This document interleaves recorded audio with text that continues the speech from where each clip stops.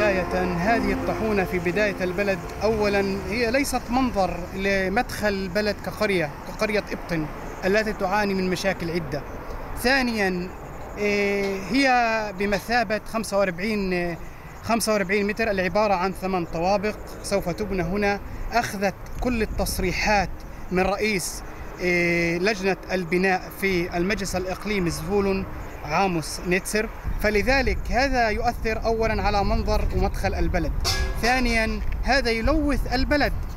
فتوجهنا إلى إلى المجلس الإقليمي إلى رئيس المجلس الإقليمي عاموس نتسر وهو رفض أن يسمعنا حتى. ليس رفض الفكرة رفض أن يسمعنا وقال لا دخل لي. المطالب تبعتنا أن يغيروا البرنامج المضر للقرية ببرنامج آخر. لتخطيط للتجارة والصناعة طبعا. آه، ويكون آه، موجود فيه مصلحة عامة للقرية هذا رئيس المؤسسة اللي عندنا شايف زي مافيا عامل.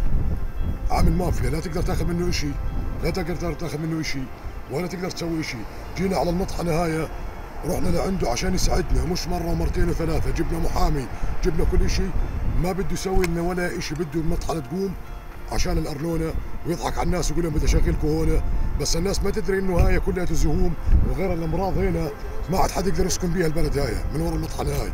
إحنا بدناش إياها المطحنة شيلي شيلي. هاي المعتساه مافيا هذا رئيس المافيا. امبارح رحنا لعنده عشان نطلب منه طلب يساعدنا.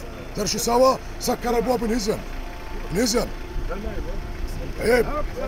عيب. البلد مش راح تسكت. خلصنا.